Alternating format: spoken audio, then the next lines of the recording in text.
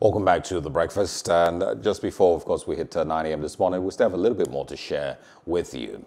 In the news, the Kaduna State Governor, Nasir El-Rufai, has uh, said, uh, of course, uh, shared his thoughts with regards the UTME cutoff mark and the quota system uh, in the education system in Nigeria. And he says that it is making northern students lazy. For the longest time, Nigerians have argued about federal character and about the quota system with regards um, education in Nigeria and how unfair, some people have argued, it is to students from the southern part of the country. The conversation about educationally disadvantaged students also has come up multiple times. This morning, we are going to be speaking with uh, Mrs. Detoun Ogwo. Uh, she, of course, uh, will be sharing her views on this. And uh, what next? Of course, her reactions to the Kaduna State Governor. Good morning and thanks for joining us, Detoun. Thank you so very much. I'm glad to be here. Right. Um, we'll just go straight up and ask you, what is your thinking? Is it time that we scrapped the quota system? Has it outlived its usefulness, like the Kaduna State Governor is saying, or his perspective is a bit skewed? What's your thinking? Um, I would say that, you know, uh, reading the article, um, he made an argument for competitiveness, which is what every economy needs, you know, um, a full complement of skills uh, from its robust human capital. But given that we're in a federation, you know, the issues of federal character come up because of, you know, affirmative action so that everyone has an opportunity um, to be educated, you know, even by, you know, um, uh, conventions on education and the right of a child to get educated. The challenge in Nigeria is that um, when we implement, you know, the, the, quota system itself is very low. The component that, that has to do with merit is quite, you know, 45%. So that already creates a drag down. And, you know, when we even look at motivational theory, the person who, as he said in the article, who has not been given, you know, it, it's not aspirational for them. There, there, there no, you know, there's no drive.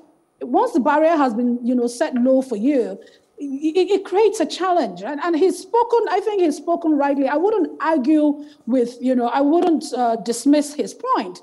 The point is education, as we know, is a form of, you know, um, expanding the mind. Um, it's a form of social justice.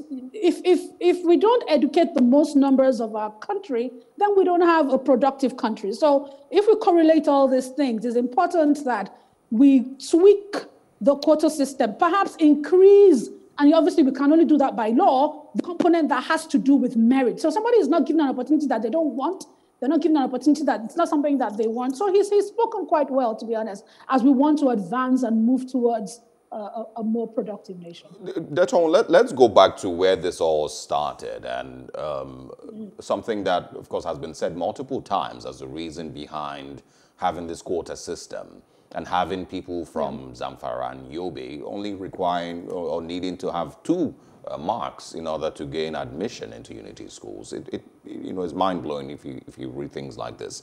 There's also the uh, difference between the male cutoff mark and the female cutoff mark, but, you know, that's a different conversation. Talk to us about when they say educationally uh, disadvantaged areas. Who is to blame for these areas being educationally disadvantaged? And how come this hasn't changed in decades? um, to, be, to be candid, I want to believe that to arrive at a conclusion on, on what makes for disadvantage, you probably have to do with issues of access. It'll have, probably have to do with records over the years.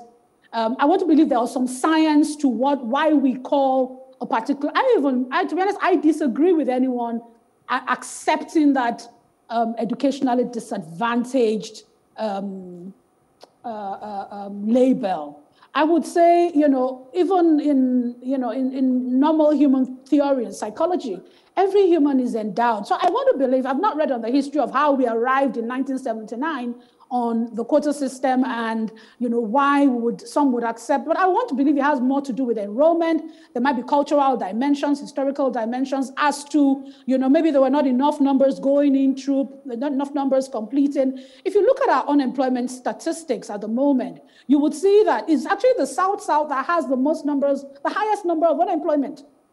So you know as scientists what we should then do is start dimension dimensioning why you know, um, if we say, I've, I've heard of a recent example of where a young girl had to change her state of origin just to get into a particular university I'm working with.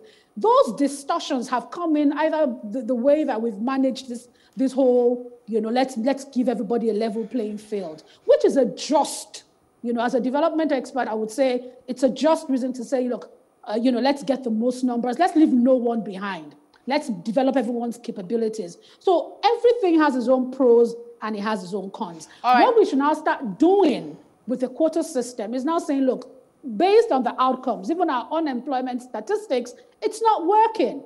It's not working. All right, you, you say it's not working, uh, Mrs. Ogwo. You said it's not working, right? And you also have, you know, reservation about the very clear ones, um, uh, quota system and the federal character um, um, system. So my question would be, do we have a willingness to address this? Do you see that as a, pos a possibility, um, in, as a strategy for us to revamp our education uh, system?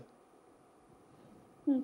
As in all things, when it comes to the development space, political will and sincerity of purpose are key ingredients of seeing any measure of change through. So, you know, if we look at the evidence before us, there doesn't seem to be a lot of focus on education. And what I would argue also uh, from an academic point of view is why? Is it that education is not coming across as being valuable? Is it that education, the utility of education itself, is being called into question? Or uh, uh, after our post-colonial realities, is it that education, we haven't contextualized what education should mean either regionally, either, you know, maybe we, we, we should be open enough to ask the critical questions. Could it be that the way that we've designed education in the past is not fit for purpose either regionally? Maybe we have been, we've done one size fits all. What we don't want to do is reduce the bar. What we don't want to do is compromise excellence as a nation, as a federation. Maybe what we should then start controlling for is diversity and I think that some of our policies have done that. Maybe so maybe, you know. Unfortunately, it's we, also the way we, that we've coordinated some of these things.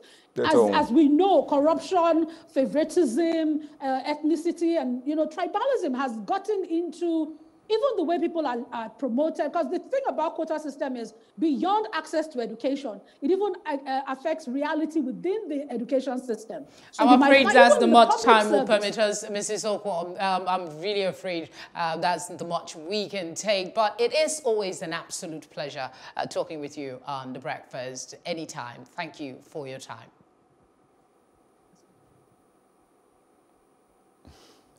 All right, I think the network yeah. is actually uh, responsible for um, her not uh, getting to us. I don't know if she can hear us still. Uh, we, we, the, the thing that, you know, one of the things that she mentioned, you know, as one of the things that we don't want to do, unfortunately, is what we've done, and that is to belittle excellence and to belittle merit. Um, and you would also notice that even with these incentives that have been placed in order to encourage more people from northern Nigeria to get, you know, they still school, have the highest still, number of out-of-school um, children. Absolutely, and you know, you, you look at common entrance uh, figures. You know, from 2018, Lagos State had the highest, um, about more than 20,000. Um, um, other states of in the southeast, of course, had 6,000. Zamfara was having 28. Some other states were having 50 of people who, you know, of course, applied um, or, uh, for common. Entrance. So it makes it makes absolutely no sense how this has been beneficial, but now that it's a good thing that we're also talking about it, hopefully, you know, we would see some change. Hello. Hope you enjoyed the news. Please do subscribe to our YouTube channel and don't forget to hit the notification button so you get notified about fresh news updates.